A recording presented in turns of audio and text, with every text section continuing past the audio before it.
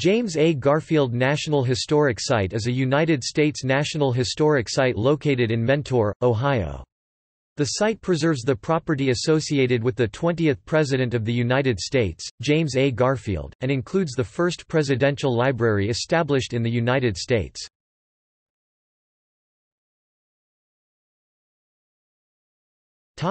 History James A. Garfield acquired the home in 1876 to accommodate his large family. The home, named Lawnfield by reporters, was the site of the first successful front porch campaign in 1880. That same year, Garfield had 11 rooms added to the building to accommodate his large family. Garfield was president from March 4, 1881 until his death on September 19, 1881. Four years after his assassination, Mrs. Garfield and her family added the Memorial Library Wing, setting the precedent for presidential libraries. Garfield purchased the Mentor residence for several reasons. Until this time, he had been a resident of Hiram and represented the 19th Ohio Congressional District. The Democratic Ohio legislature had redistricted and removed the Republican Party counties of Ashtabula, Lake, Geauga, and Trumbull from the district, leaving only the Democratic Party counties of Ashland, Stark and Wayne. Garfield also wanted a place where his sons could learn about farming, as well as a permanent residence where he could spend his summers while Congress was on recess. Lucretia Garfield lived in the house at least part of every year until her death in 1918.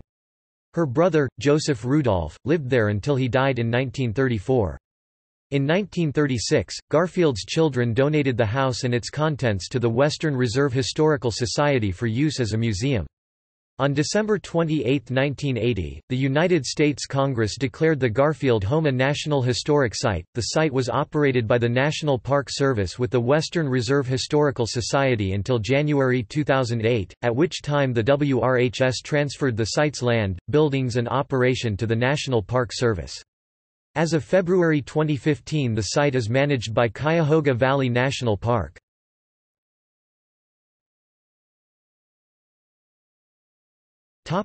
Restoration